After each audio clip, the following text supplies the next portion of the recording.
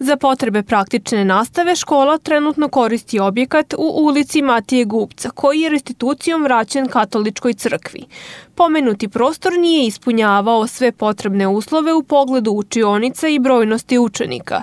Novi objekat na dva nivoa prostiraće se na 2500 kvadratnih metara i bit će izgrađen i za fiskulturne sale na prostoru koji trenutno služi kao parking. Ovaj nov objekat za praktičnu nastavu u donjem delu imao bi e, prostor za automehaničarske radionice koje bismo napravili, e, imao bi prostor za e, radionice gde se radi ručna, ručno struganje, ručno glodanje, i imao bi deo za, za, za automatsko glodanje i struganje, CNC tehnologije, a u gornjem nivou bi išle učionice za ručnu obradu, laboratorije za elektropneumatiku, laboratorije za telekomunikacije, odnosno za, za elektrosmer, tako da bi ono, sve onamo što nam nedostaje i, i sve ono što nam fali s ovim novim objektom ispunili u potpunosti. Tehnička škola nema mogućnost postavljanja rampe ili prilaza za invalide, što je predstavljalo problem, jer iako nijedan učenik ove škole nema invaliditet, ima onih učenika sa povredama poput preloma noge.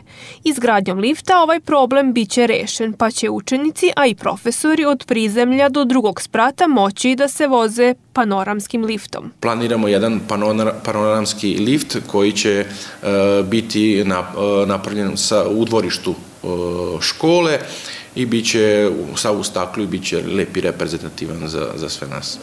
Nakon završetka rekonstrukcije, ova škola imaće na jednom mestu sve.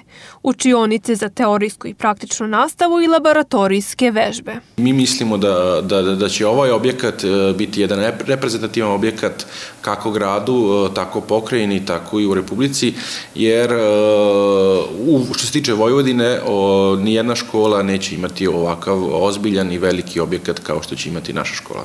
Direktor škole poručuje da pre početka radova predstoji nabavka sve potrebne dokumentacije, nakon čega će biti raspisan konkurs za javne nabavke. U najboljem slučaju nada se radovi će početi u aprilu sledeće godine.